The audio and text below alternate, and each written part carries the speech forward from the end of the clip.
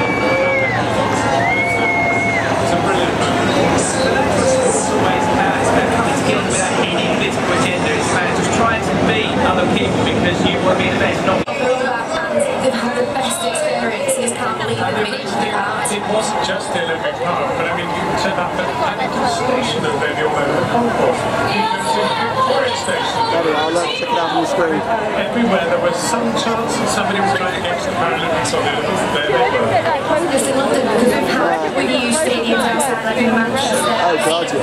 the country.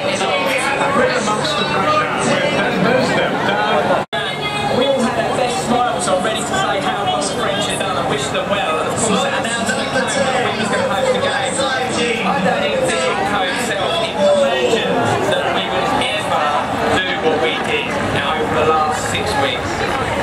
I think as for the crowd today, how blessed we've been with the weather, because although it's a bit windy, it's sunny. You so many people on the streets. I mean, you, you, know, you never know how it's like demos. You never know how people are. It. It